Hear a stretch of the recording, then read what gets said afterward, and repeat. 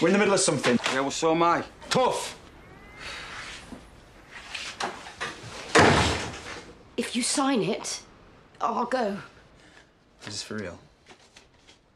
The, uh, the agreement dissolves your business partnership. If you've ever loved me, then you'll take that check and you'll you'll go. So you can stop it the minute you file the papers.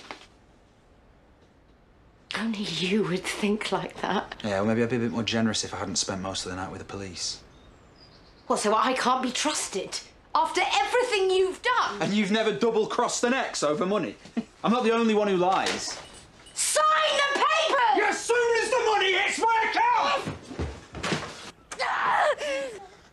Oh, come on, not this routine again. I wish it had been real petrol the first time. It would have been worth it. So now you're having a tantrum because I haven't fallen for your scam. I haven't got enough energy left to scam you. I just want you to feel how I do for one minute. Seeing one of your precious toys disappear should do it. No one feels worse than me, so you don't have to put this ridiculous act on. You're just upset that you got caught. I am ruined. I am heartbroken. Everything I thought that was good was a lie. We both know you're never going to like that. Oh, so now you look like you're upset. Now that your car is under threat. There'll be fumes about. Stop acting like a child. You made your point.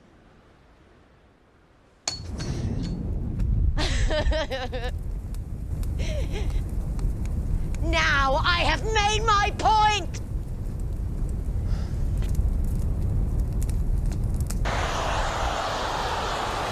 Oh, let it burn. Find another one and help me.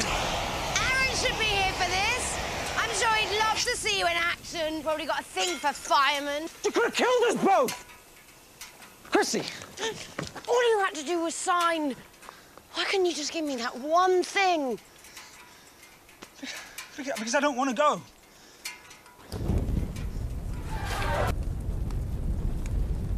I've, I've- I've been cruel, and I've been selfish, and, and I've done some really bad things, but I, I don't care about the money.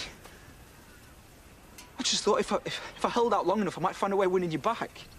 By blackmailing me. I was angry. I'm sick of all this fighting. Come on, please. I'm begging you, I'll do anything. Just take me back. Chrissie, please.